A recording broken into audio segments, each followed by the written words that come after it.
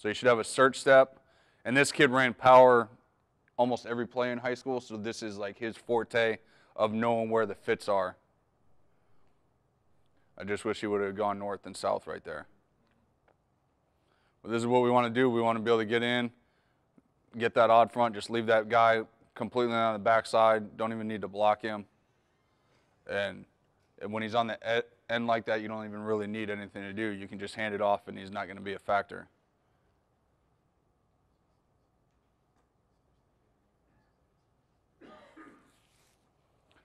So as you can see, it, it, and like that's what we're looking for because as you saw, a lot of the uh, three by one tight end stuff this year was against Oregon State, and it was split zone, and then we had powers the counter. So there are two plays, just like we talked about in the beginning today, is protect your plays and protect your players. Is that's how we protect split zone with a tight end is we're going to run power. Same thing, work through it, screen to this side he feels that he's coming, so he alerts to it. Guard does a decent job of reading around it and working through.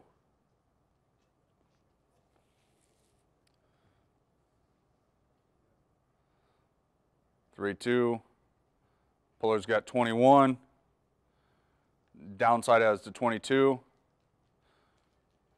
Probably could leave it with one hand right, like we were talking about. Get a good one hand punch, especially if you can get it on the hip.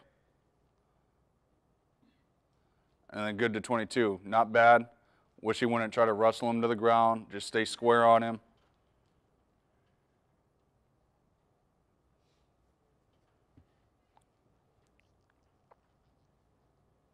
Okay, same thing. Three by one, tight end. Pizza slice right there. Guy comes during the down block, so the tackle actually picks him up, allows him to go all the way around, and he'll actually just work to that backside backer now.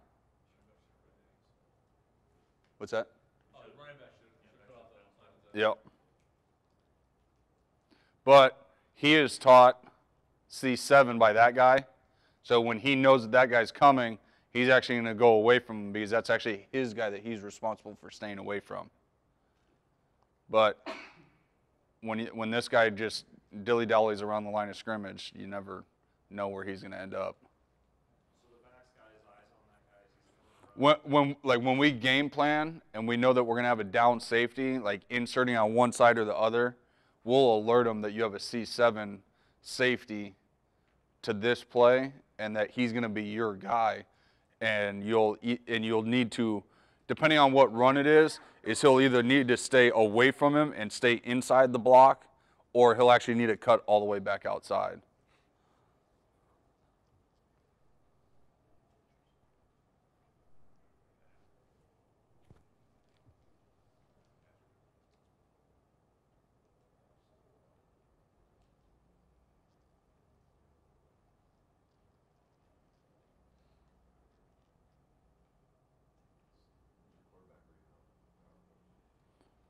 Really, he's not. He's just got to make sure that there's not they're not getting seven into the box completely.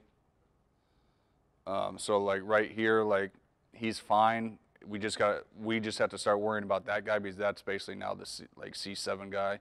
They're just switching responsibilities, and he's the down guy. That the back's got to be able to stay away from him, and that's the danger guy. So we got to eventually be able to throw something out on this side.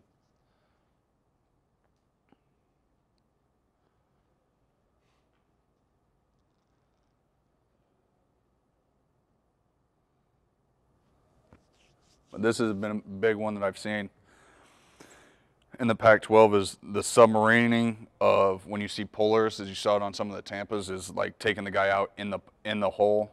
Um, I don't know if it's an actual technique or it's a self-defense mechanism by certain kids, but it's interesting. Okay, again, just like we had star and slip, now we're going to get into power. Uh, I think we tagged this like power extra to tell them that they had an extra guy coming from behind. Um, and same thing that it, when we had it in the Washington State game, brand new formation, just give them a different look, give them a bunch of new run fits to set up for three or four plays, power, split zone, and a play action. You put a big guy in the back. Yep. Yeah, that that was the backup center.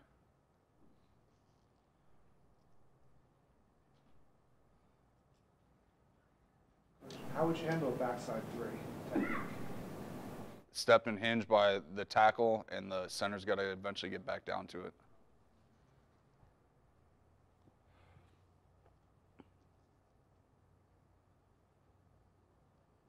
Puller's got to get going, got to get on his horse.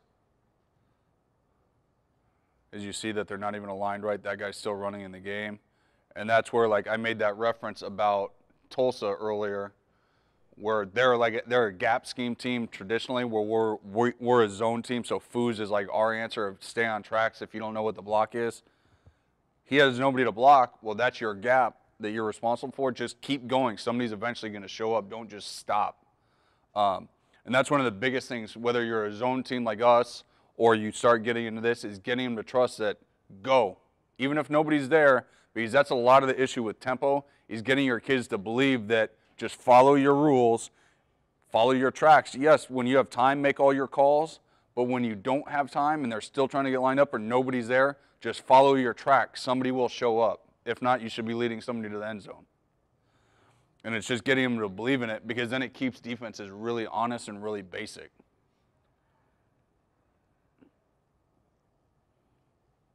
As you see, we kind of liked it this day.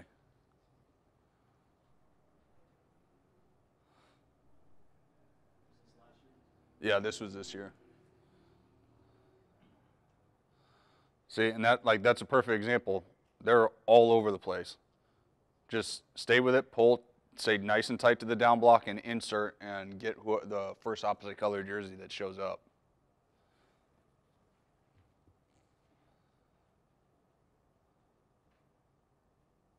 See, like half of our kids don't even realize that we're about to snap the ball. And that, like, that one of our biggest ones is like, as I talked about during like practice must, is your tempo drill, is you're doing it on air, so they should just be calling random calls or no calls and just following their tracks and running to where they're supposed to be. Okay, 3 3 with a tight end, so they're going to bring up that extra overhang.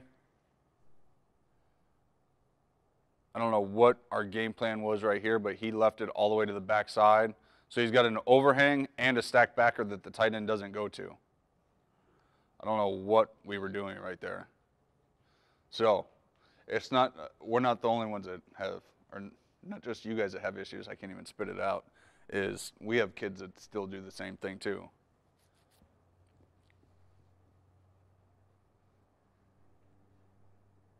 That's your guy. We don't block safeties. Leave that for the quarterback.